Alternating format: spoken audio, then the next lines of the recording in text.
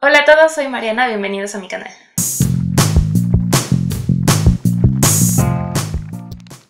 Como dice el título, hoy voy a hablar de las similitudes y diferencias entre Caraval de Stephanie Garber y The Night Circus o El Circo de la Noche de Erin Morgenstern.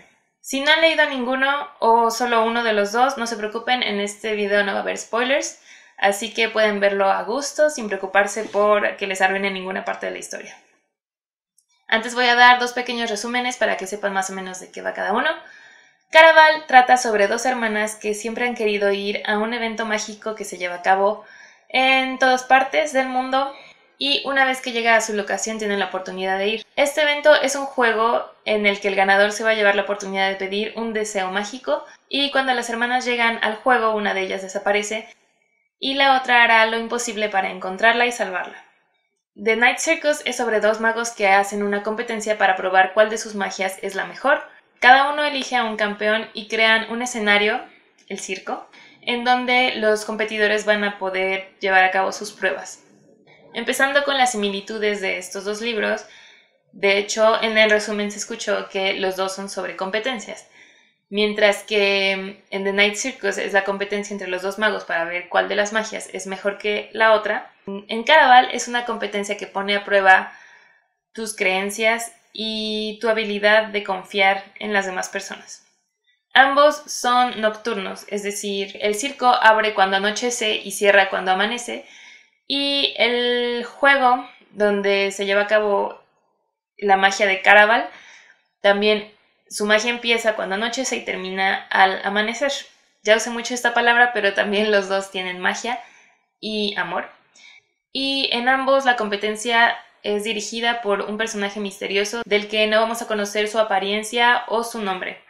En ambos libros los escenarios son móviles. El circo se traslada a varias ciudades para que pueda ser visitado por varios visitantes del mundo. Y Caraval es como... Caraval no es un circo, es como una feria que también se va trasladando de locación en locación para que también pueda ser visitado por más gente. Ahora van las diferencias. En cuanto a la forma en la que están escritos, Caraval, bueno, los dos están escritos en tercera persona. Sin embargo, Caraval sigue el punto de vista de solo una persona y The Night Circus sigue el punto de vista de varias personas a lo largo del libro. Caraval está situado en un mundo ficticio y The Night Circus está situado en nuestro mundo, solo que a finales de 1800, principios de 1900. En Caraval tenemos una descripción lineal, nos va describiendo cronológicamente lo que pasa, y en The Night Circus son, tiene saltos en el tiempo, en el que te puede mostrar un capítulo de 1896 y otro de 1906. También por eso son puntos de vista diferentes. En 1906 seguimos a otra persona diferente a la que seguimos en, en 1890. Caraval se enfoca más en el desarrollo del personaje o de los personajes y en The Night Circus seguimos el desarrollo de la historia. Y esto hace que leer Caraval sea mucho más rápido que leer The Night Circus, porque siento que al leer desde, desde dentro de la cabeza de las personas, es más fácil imaginar lo que está pasando que si nada más te está describiendo la historia no me malentiendan, amo las dos versiones de contar una historia, pero siento que es más rápido leerla cuando está enfocado en los personajes. Si se preguntan cuál de los dos se publicó primero, fue The Night Circus. Ese fue en, se publicó en 2012 y Caraval se publicó el año pasado, en 2017. Caraval va a tener una secuela que va a salir a finales de mayo de este año y The Night Circus es libro único. Esas fueron las principales similitudes y diferencias que noté.